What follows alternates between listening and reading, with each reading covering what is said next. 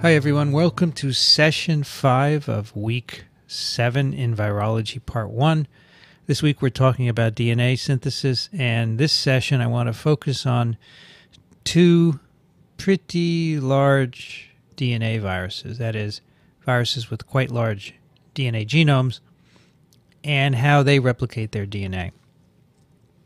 And the first one is herpes simplex virus. This is a member of the family herpes viruses or herpes viridae. Uh, these are viruses with rather large genomes ranging from 120 to 220,000 base pairs in length. And some of the famous members include herpes simplex virus, shown here, Epstein Barr virus, cytomegalovirus, and a few others. These genomes are double stranded linear DNAs and as we've mentioned before, the uh, one of the features of these genomes is that they are present in large and short segments that can be inverted with respect to one another. So you can have four different combinations of L and S with them inverted in two different ways. This virus, these viruses have three different origins of replication in ORI L and two ORI S origins as you can see here. The interesting aspect of this uh, virus that I want to talk about in this session is that the DNA enters as the cell as a linear molecule, and there it apparently is converted to a circle, and it then replicates as a rolling circle. These origins are actually active in different conditions in the cell. That's another interesting feature of this virus. And that's something we'll talk about in the last session of this week. But for now, let's focus on the mechanism of DNA replication, um, how it's primed, and how it deals with the 5' end problem. All right, in the virion, the viral DNA is linear as it's shown here, and we're showing that again on this slide. So at the top here is herpes viral DNA with uh, the, uh, two the L and the S segments. This comes into the cell, enters the nucleus, and is circularized by a cellular enzyme called DNA ligase 4, or another name for which is XRCC4. So again, ligases are enzymes that join the ends of DNA together covalently. They take a 5' end and a 3' end, and they make a phosphodiester bond. So they covalently link the DNA. So if you put a ligase together with herpes DNA, you get a circle, a covalently closed circle. And this is what happens when the viral DNA gets into cells. It goes in the nucleus, is circularized, and the key here is that a host protein is responsible for the circularization. Now, we have a circular double stranded DNA. You're probably thinking, well, it must replicate like SV40 uh, bidirectional uh, semi-discontinuous replication with a replication, two replication forks and a bubble? And the answer is no. It doesn't replicate that way at all. Uh, it replicates by the rolling circle mechanism, and that's shown on this slide. The rolling circle mechanism of replication was actually first discovered in a bacteriophage. Uh, that is a virus that infects bacteria. The particular bacteriophage uh, in which it was discovered is called phi X174, uh, which is a phage with a double stranded circular DNA genome to begin with. It's like that in the particle. However, it's subsequently been found to occur in cells infected with another bacteriophage called lambda, and the lambda genome is much like the herpes virus genome. It's a double stranded linear DNA. When it gets into the bacterial cell, it's circularized and it replicates by rolling circles. So uh, that's shown here. So this happens for phi X174 lambda and herpes viruses. So here is the circular double stranded DNA on the left. The first thing that happens is a nick is introduced into the DNA by an endonuclease. And that nick, of course, is important because it gives you a free 3' hydroxyl. So you don't you don't have to make a bubble. You don't have to make a, have an origin where, although this does initiate at an origin, you don't have to have an origin binding protein that denatures the two strands and allows the DNA polymerase to begin using a primer. The primer here is the viral DNA formed by this nick. It gives you a 3' hydroxyl. The DNA polymerase can come in. This is an origin of replication in here, one of those specific herpes viral uh, origins of replication. The viral polymerase can come in, use the 3' hydroxyl as a primer, and begin synthesizing the complementary strand, and that's shown in red here. And this occurs by displacement synthesis, continuous displacement synthesis on this strand.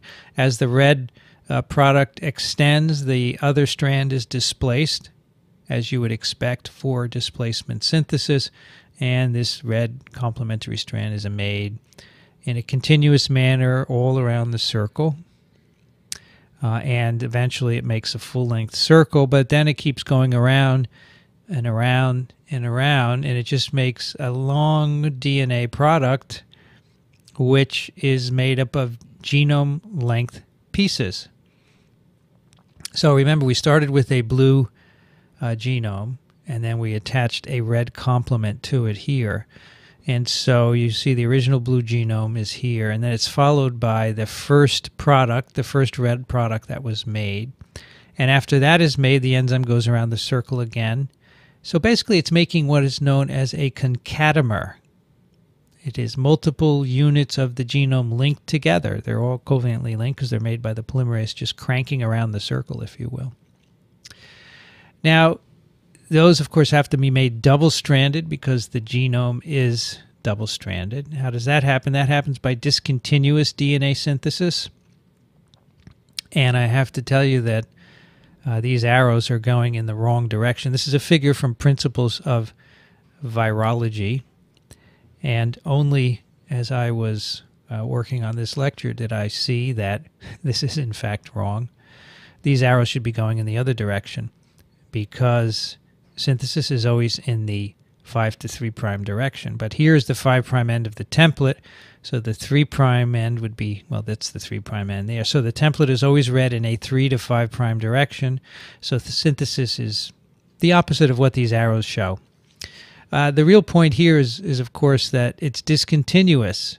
It cannot happen continuously because uh, the, the template has to be exposed and polymerase is put on uh, in order to cover it. If you just started a polymerase here, of course, you'd reach the end and you'd not copy the whole thing. So you have to copy here as this is exposed, then copy here and copy here and so forth. And those are all um, initiated by RNA primers. And there is no end problem because you uh, are just packaging genome length pieces. So what happens is you get a concatemer of genomes you um, then package those into the viral particle, and the idea is that exact genome lengths are recognized by the packaging machinery and cleaved as they enter the capsid. And we'll talk about that in more detail later on uh, as we discuss how packaging occurs. Now, if you think about this, the very last copy that you made is going to have, by discontinuous synthesis, is going to have an end problem, and it's not clear how that's resolved. It may be that that is one out of hundreds of copies that are in this concatemer, and so it's just discarded. Uh, the others, of course, will all be exact genome double strand DNA copies, and so there is no end problem, except perhaps for that last piece. Uh, some of the viral gene products needed to replicate herpes viral DNAs are shown here. Uh, this is a big DNA virus, so it encodes a lot of the replication machinery uh, these three proteins form the primase. Uh, so this virus does not use the cellular primase to produce those RNA primers. Uh, a processivity protein, which helps the polymerase, the DNA polymerase, which is also encoded by the virus to simply um, produce or synthesize more bases. That's what processivity means to go farther from uh, an origin. An origin binding protein, a single stranded DNA binding protein, and of course the DNA polymerase. Now, all these proteins are necessary for viral DNA replication, but they are not enough. It's not enough. Something else is needed, and what that is is not known. So clearly, even though this virus can encode a lot of the DNA replication machinery, it's not enough to do it on its own. It still needs something from the cell. and what that is isn't yet known. All right, the next virus, the next big uh, DNA virus I want to tell you about is pox virus. Uh, these are larger than the adenoviruses, uh, sorry, than the herpes viruses. They have genomes ranging from 130 to 375,000 base pairs in length. They are double stranded DNA. They are linear molecules, but the ends are covalently linked, as we mentioned previously. So the 5 and 3 prime ends at each end of the DNA are, are covalently joined in a phosphodiester bond. And so we call that a terminal loop. If you melted or denatured this DNA and made single strands, it would form a single stranded circle. Now, poxvirus is unusual among all the viruses that we've talked about so far this week in that all the other viruses replicate in the nucleus. Their DNAs go right into the nucleus, and that is where they replicate them. Poxviruses do it in the cytoplasm. They set up their own factories in the cytoplasm, which are needed to replicate the virus. They do not go into the nucleus, and for the most part, DNA synthesis is independent uh, of cell proteins.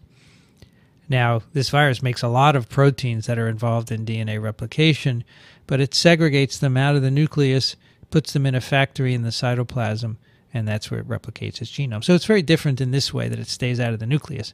Now, the last viruses we talked about, herpes viruses, make a lot of the DNA replication machinery themselves, but they do that in the nucleus. They replicate their DNA in the nucleus uh, where it's mixed in with cellular DNA. But these viruses keep it separate. Here's a picture of infected cells to show you what these factories look like. So these are poxvirus infected cells, and they're stained on the left with a dye that stains DNA blue and this big blob of blue is the cell nucleus. And then you can see the cytoplasm uh, is full of blue staining areas.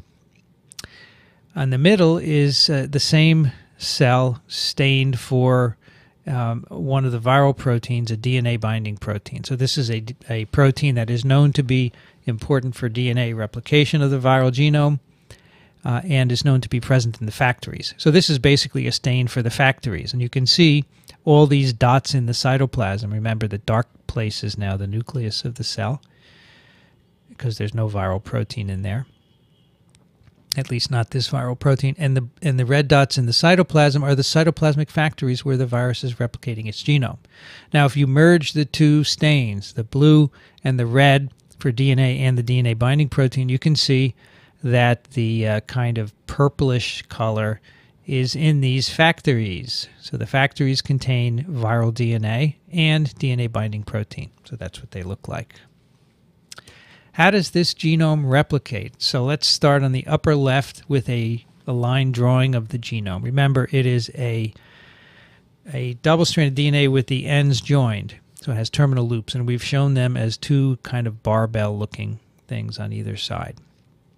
So what happens is the DNA is nicked by a viral enzyme right here on the left. The terminus is unwound, and the 3' end formed by the nick right here is a primer for the DNA polymerase. And the DNA polymerase copies the single-stranded region at the left end. That's shown in red here, the, the product uh, that is made. The two ends can now form hairpin structures, and that's shown in the next end. The hairpin ends refold. And this is done so that you will not get duplication at the left end.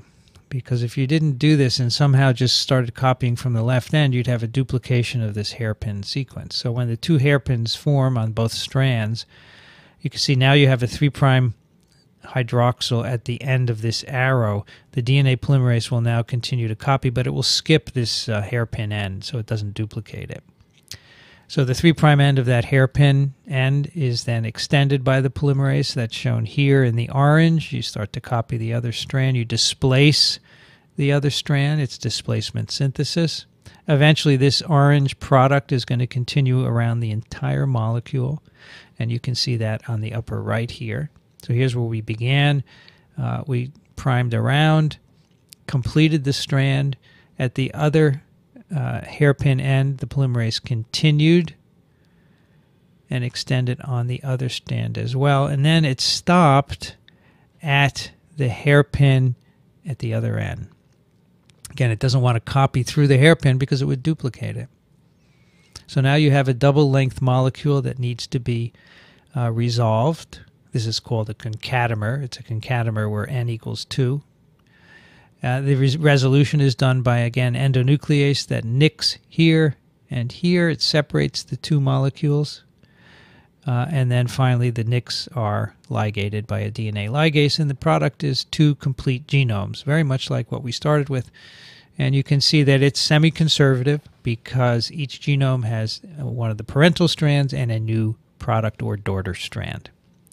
So, a very interesting mode of replication. Again, the primer is the viral DNA itself, just like the parvoviruses, and there's no end problem as a consequence of this uh, configuration.